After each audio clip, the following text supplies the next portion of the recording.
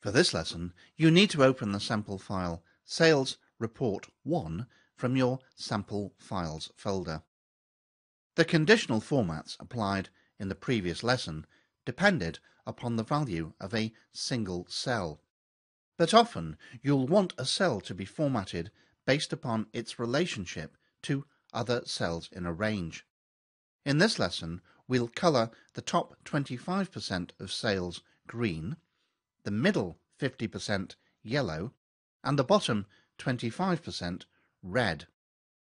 This lesson also introduces the Rules Manager that allows you to edit conditional format rules and to specify the order in which conditional formats are applied. I'm going to begin this lesson by showing a little more of this worksheet on screen. I'd like to be able to view all of the worksheet. So I'll click the Ribbon Display Options button at the top right of the screen and select Auto Hide Ribbon. And I can now see the entire worksheet. If I want to bring the ribbon back, I just need to click at the top of the worksheet. And when I click back on the worksheet, the ribbon disappears again. I'm going to begin by applying that first conditional format. I want to colour the top 25% of sales green. So I'll select the sales cells, that's B5 to B25, click at the top of the screen to bring back the ribbon, then Home on the ribbon and in the Styles group Conditional Formatting, and this time I'll hover over Top Bottom Rules. And you can see that there's a top 10% rule.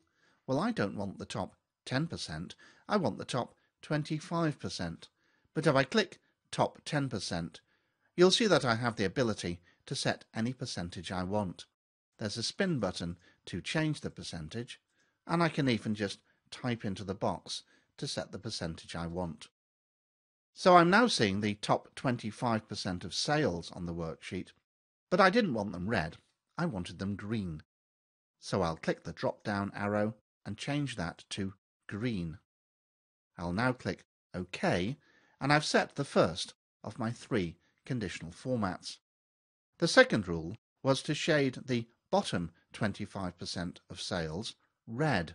So I'll select the sales cells, B5 to B25, click at the top of the screen, once again Home tab, Styles, Conditional Formatting, once again the top bottom rules, but this time I'll select bottom 10% and I'll change the percentage to 25%.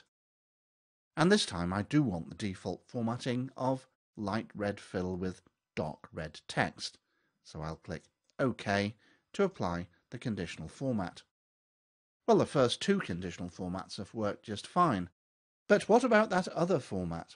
I want all of the cells in between the top 25% and the bottom 25% to be yellow. Well, perhaps if I set a conditional format that just highlighted any cell with a value greater than zero yellow, that might work. Let's try it and see. I'll select cells B5 to B25. I click at the top to bring back the ribbon. Home once more, conditional formatting. This time a simple highlight cells rule, and it's cells greater than zero that I'm going to fill in yellow. And when I click OK, that's not the result I wanted at all. Why are all of the cells yellow? The answer is found in the order in which those three conditional formats are applied to the cells. And we can change the order using the Conditional Format Rules Manager. Let's bring up the Rules Manager and see how this works. So I select cells B5 to B25. I click at the top of the screen again to bring back the ribbon. Home tab on the ribbon and Conditional Formatting. And notice that the last option is Manage Rules. I'll click Manage Rules and the Conditional Formatting Rules Manager appears.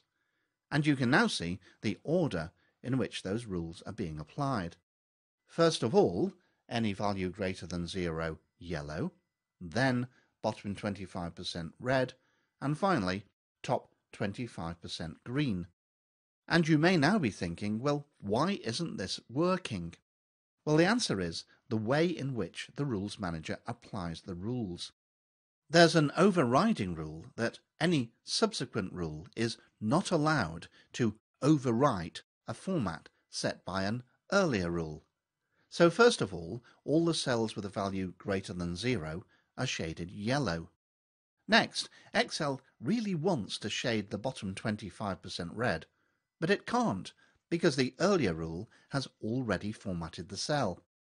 And then it really wants to shade the top 25% green, but once again it's not allowed to because of that earlier rule shading them yellow. So the simple answer is to move the first rule to the bottom of the list, and then everything should work just fine.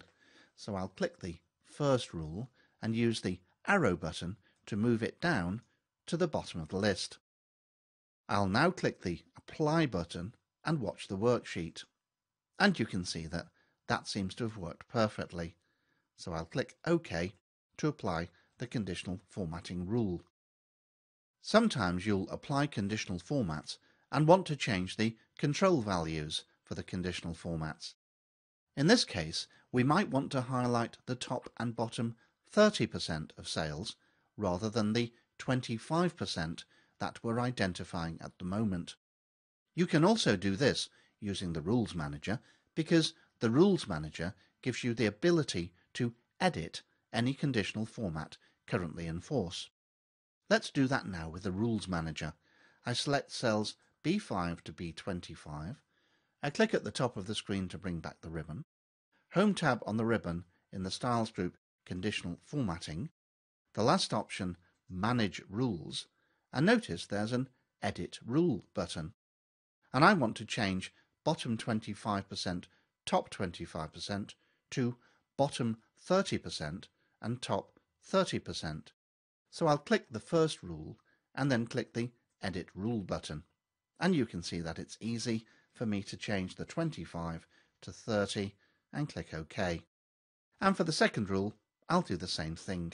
Click on the rule, click the Edit Rule button, change the 25 to 30, and then click the OK button. And nothing seems to have happened on the worksheet just yet. But when I click the Apply button, you'll see the changes take place.